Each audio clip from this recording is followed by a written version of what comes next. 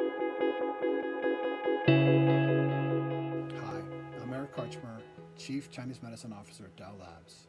Uh, I'm here to talk to you today about joint vitality, a great formula for joint support.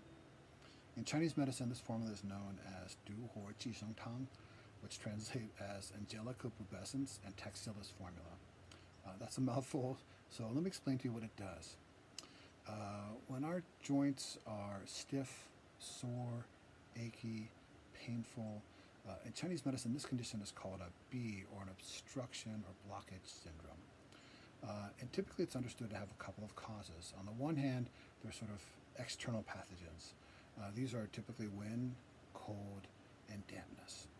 Uh, on the other hand, there's also kind of an internal precondition, if you will, just deficiencies and vulnerabilities that allow those external pathogens to enter into the body.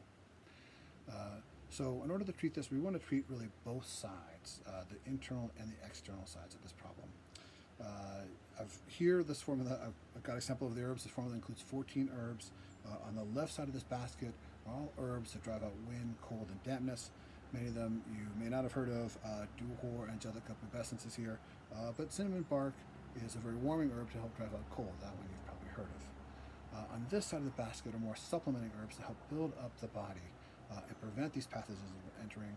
Uh, that includes things like ginseng, which you've probably heard of, but also things like taxillus, uh, which is a sort of mulberry mistletoe. Um, that's also very supplementing, but maybe something you haven't heard of before.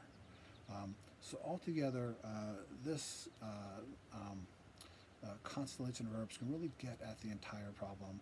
Um, often these problems come about because of injuries, general wear and tear in the body, um, surgeries perhaps, um, and these things sort of break us down and over time allow these sort of joint stiffness and discomforts to develop. Uh, so it's also a formula you might want to stick with too. If it, you feel like it's working, stick with it. it. can really make a fundamental change in the health of your joints, but often it requires patience and you've got to stick with it. Uh, so if you'd like to learn more about this formula, please contact us at uh, uh, or write to me or one of my colleagues, and we'll be happy to tell you more all about this uh, amazing formula.